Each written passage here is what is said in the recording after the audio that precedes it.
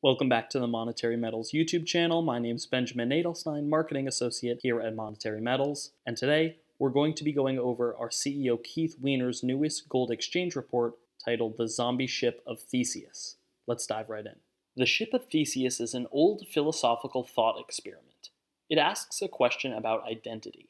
Suppose you replace all of the boards of a ship with new ones. Is it still the same ship?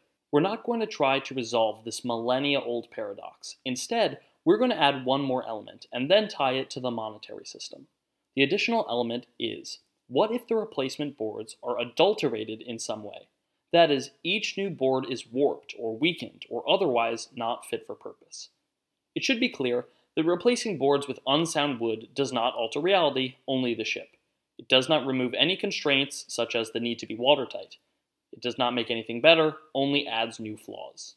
Let's call this new ship, with each original board replaced with these adulterated boards, the zombie ship of Theseus. It looks like the ship of Theseus, however, it does not work like it. It has been corrupted to work in a different way, i.e., to lull sailors into going out to sea where a storm will drown them. So, how does this relate to the monetary system and the currency? There has been a centuries long process of replacing important boards. Let's highlight the key changes. At the founding of America, there was the original ship of Theseus. One had the right to deposit one's gold, we will leave out silver as this complicates the story somewhat, and get a paper bank note in exchange. Or one could keep one's gold if one did not like the terms. One had the right to redeem the note and get one's gold back. If a bank could not honor this obligation, then its assets were sold and depositors were repaid. After that, each class in the capital structure was repaid until the money, gold, ran out. Of course, the bank didn't merely put the gold into a vault. A bank is not a warehouse. It invested the gold in safe, short-term assets such as real bills. If it had 100 ounces of notes outstanding, its liability, then it had at least 100 ounces of gold and bills. The bank earned gold on its portfolio of bills. It paid nothing on notes. So, Note issuance was a simple and profitable business, providing the bank minded its credit risk and was careful about the maturity of its assets. Bills matured in 90 days or less. 10 year bonds offered higher interest rates but would not mature in time to honor redemptions. In the 19th century, first state governments and then the federal government mandated that note issuers must hold government bonds to back their notes. State governments were prone to defaulting on their debts, which caused bank insolvencies. The federal government did not default, but as it paid down its debts after the Civil War, it effectively forced note issuers to reduce the number of notes outstanding, which had follow on consequences outside the scope of this article. To outward appearances, nothing changed. One could deposit and redeem gold. But inside the banking system, some oak boards were replaced with knotty pine. In 1913, the Federal Reserve was created, and it had a monopoly on note issuance. The Fed was lender of last resort, manipulator of interest rates, moral hazard provider, and politicizer of credit. Although its notes were still gold redeemable, something fundamental had changed. It was as if they replaced the keel of the ship with termite gnawed timbers. Twenty years later, President Roosevelt declared that notes and bank deposits were no longer redeemable in gold. The savers were disenfranchised as they no longer had a choice between holding money or bonds, money was made illegal. It is at this point that we pause to consider whether this corruption of the system relaxed any constraints. Prior to 1933, money was clearly gold, and a banknote was clearly a promise to pay money. We have written about a 1905 railroad bond that on its face declared that it is payable in the quote, gold coin of the United States of America. But after 1933, many economists argued that the paper note is the money that by this presidential edict, which replaced the oak plank of gold redeemability with a movie prop made of foam and painted to look like wood, has altered the nature of money and credit itself. That Roosevelt was a master alchemist who could convert credit into money, a greater trick by far than merely converting lead into gold. Can the simple act of declaring all banknotes to be irredeemable turn the notes themselves into money? And further, can this edict erase the liability Recall that in honest banking, when you deposit gold, the bank buys an asset, but it still has the liability that it owes you the gold.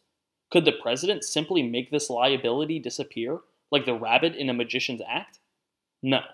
Replacing a plank on the ship of Theseus does not give the ship new capabilities.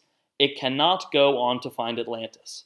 In 1971, President Nixon finished the job that Roosevelt began. He made the dollar irredeemable even to foreign central banks. And for the last half century, the dollar has been a credit that is borrowed into existence and never redeemed. That is, never paid off.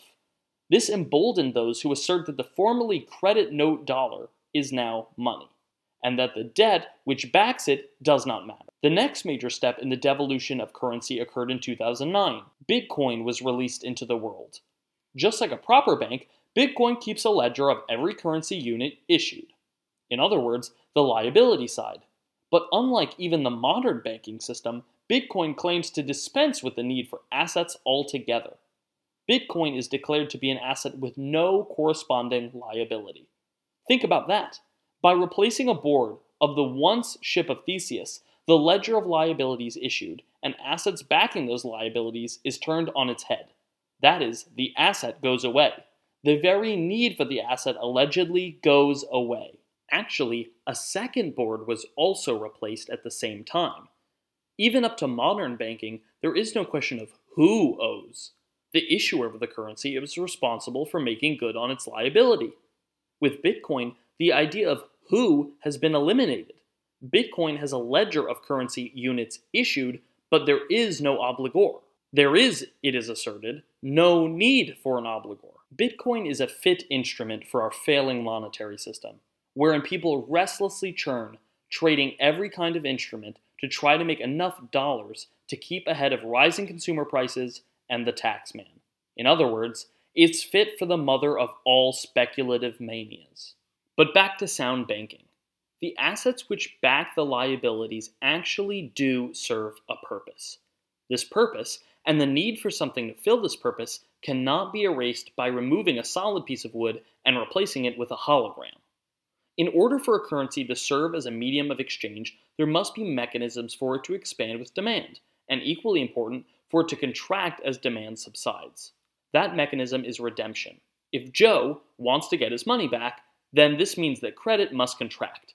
The bank must liquidate an asset, or at least not buy a new one when an old one matures, in order to raise the gold coin to pay Joe.